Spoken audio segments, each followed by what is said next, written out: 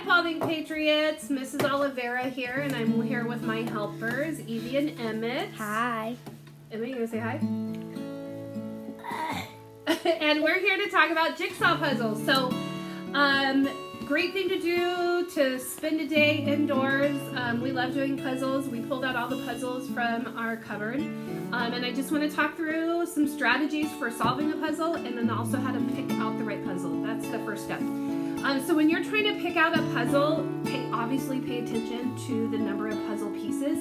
If you want to do a puzzle in a day and not have it be some big overwhelming thing, you're going to want to choose something that's 500 pieces um, or maybe a little bit less. Like so this one. this is a great example. We have not done this puzzle yet. It's the newest one that I uh, have bought and it's 500 pieces. The other thing to pay attention to is color contrast so that when you are doing that that you have a lot to work with. So some of these other puzzles that we have here, we don't have time to go through all of them, but some of them we've bought. In fact, um, a lot of them we've bought and then never like really like I we started, we tried, it was like, why did I get that? What was I thinking? This is a good example. It looks on the surface not that hard, but with a thousand pieces, but it was like way each one is way too much. So move that aside, Evie. And it also has little cart pauses as the movie. Exactly. So I personally, um, pre- like I said, prefer the 500, 1000. Once you get to the bigger ones, unless you have a dedicated space um, or dedicated time for it, um, it's just it, it's almost too big of a project. But we're all at different places, so This one's way Um, too complex. yeah. The one I probably the biggest puzzle I've done is this 1500 puzzle. This is before children, of course. Um, and it's a Van Gogh one. I was pretty proud of that. That was a really fun one. And the pieces are tiny. And now I'm like, did I really do that? Because I, I, I'm vaguely remember. I, I'm pretty sure I did. Anyway, um, so we're gonna. I'm gonna switch spaces with Evie. We're gonna talk about. We're gonna use a 26. I'm sorry, 36 piece puzzle. Um, one of Emmett's little dinosaur puzzle that he likes to do. And we're gonna use that to demonstrate the proper way to actually approach a puzzle. All right, so here we have we have it all laid all laid out. So here we have we have the corner piece, we have corner pieces, uh, we have edge pieces, and we have middle pieces, and we sort them in the in the in those piles. We have them on the right sides, as as you can see. Now I have them on the right sides. And so what, what you can do, what you do Wait, wait, one of the things to solve the puzzle is like is like you look at this. Does it look like it will be in the sky or the ground? It looks like it will be on the ground because of the flowers on that. Because a piece of the flowers on there. And this one looks like it'll be in the sky because it looks like because it look because in the blue it looks like it's part of the, of the sky. It's sky, and so does this, and so does this one, and this one looks like it's on the ground. And you could always look at the picture too to help you with that. All right, what's the next step, girl? And then, and then what you do next? But if you don't get it, then what as a next, grown you get the side piece. You get the side pieces. The, You the let edge me talk. pieces. Let me Hang on, talk. but it's okay. I'm supposed to talk. Okay, let him have a turn, Evie. Let's just build a So puzzle. if you don't get it, then ask a grown up to help you. That's Yes. really good advice, honey.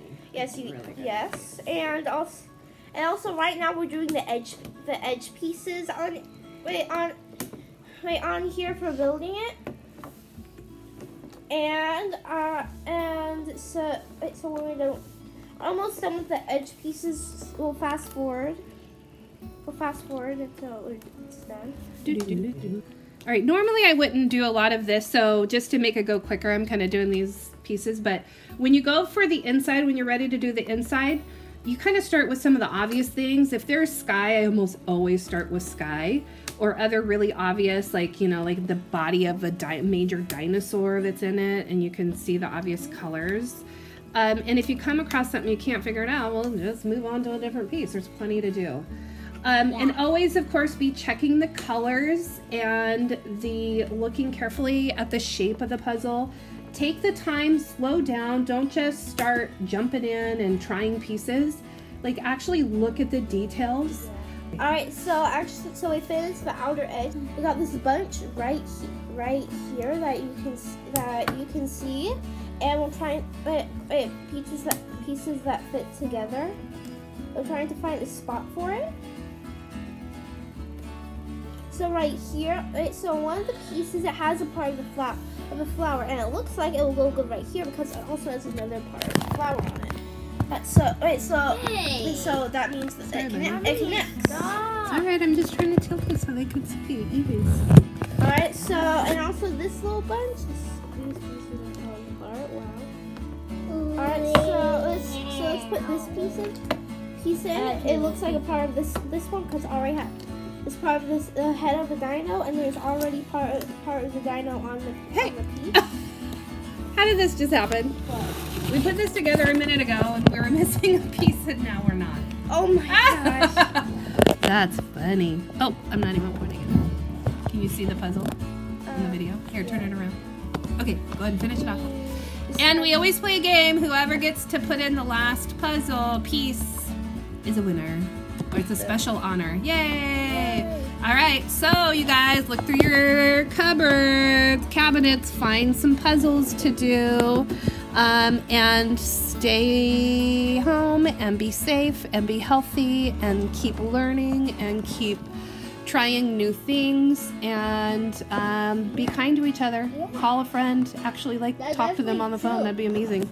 But if you're like a bad boy, like yeah, so don't watch this show.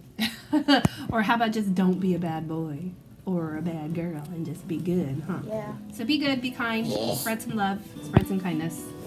Yep. Oliveira's out.